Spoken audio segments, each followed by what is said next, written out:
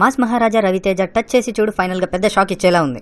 ఏమాత్రం కోలుకోవడానికి అవకాశం లేనంతగా negative talk పాకుతుండడంతో ఇది సేఫ్గా బయటపడడం కష్టమే. రాజా ది గ్రేట్ ఇచ్చిన సక్సెస్ కిక్ దీంతో కొంత తగ్గటం ఖాయం. ప్రస్తుతం కళ్యాణ్ కృష్ణ దర్శకత్వంలో నటిస్తున్న రవితేజ తాజాగా దర్శకుడు శ్రీను వైట్లాకు ఓకే చెప్పి ఫ్యాన్స్ని సైతం ఆశ్చర్యంలో ముంచెత్తాడు.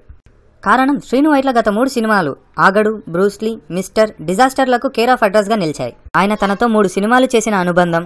కెరియర్లో మేజర్ బ్రేక్గా నిలిచిన సినిమాలు ఉండడం వల్ల తదితర కారణాల వల్ల రవితేజ స్నేహధర్మం పాటిస్తున్నట్టు టాక్. విశ్వసనీయ సమాచారం ప్రకారం ఇందులో రవితేజ ట్రిపుల్ రోల్ చేయబోతున్నాడట. ఇది తనకు మొదటిసారి. మొన్న మధ్య జూనియర్ ఎన్టీఆర్తో జైల్ అవకుశ సినిమా చేసిన తర్వాత ఇంత తక్కువ గ్యాప్లో మరో స్టార్ హీరో చేయడం విశేషమే. ప్రస్తుతం హీరోయిన్ల సెలక్షన్ జరుగుతుందట. కాజల్ అగర్వాల్ ఆల్మోస్ట్ ఓకే అయినట్లే అని టాక్ ఉండగా మరో హీరోయిన్గా నివేదా థామస్తో చర్చలు జరుగుతున్నాయని తెలిసింది. మరో హీరోయిన్గా అనుపమ అను ఇమానియల్ పేర్లు పరిశీలనలో ఉన్నాయట. కానీ వాళ్ళు ఎంతవరకు ఓకే చెప్తారా అనే దాన్ని బట్టి నిర్ణయం ఉంటుంది. దీనికి టైటిల్గా అమర్ అక్బర్ యాంటోనీ అని ఫిక్స్ చేయవచ్చా అని ఇన్సెట్ టాక్. కొంత గ్యాప్ తీసుకొని రాజా ది తో మళ్ళీ ట్రాక్లో పడిన రవితేజ చాలా సెలెక్టివ్గా కథలు ఎంచుకుంటున్నాడు. టచ్ చేసి చూడు దెబ్బ కొట్టినా ఇప్పటికిప్పుడు వచ్చిన నష్టమేమీ లేదు కానీ ఒక పాత్రలోనే ఫుల్ ఎనర్జెటిక్ కిక్ ఇచ్చే రవితేజ ఒకేసారి మూడు పాత్రలో కనిపిస్తే ఇంకెంత అల్లరి చేస్తాడో ప్రత్యేకంగా చెప్పక్కర్లేదు. కాజల్ అగర్వాల్కి ఇది రవితేజతో మూడో సినిమా. కోర్స్ రవితేజకు కూడా కాజల్ అగర్వాల్తో ఇది మూడో సినిమా అనుకోండి.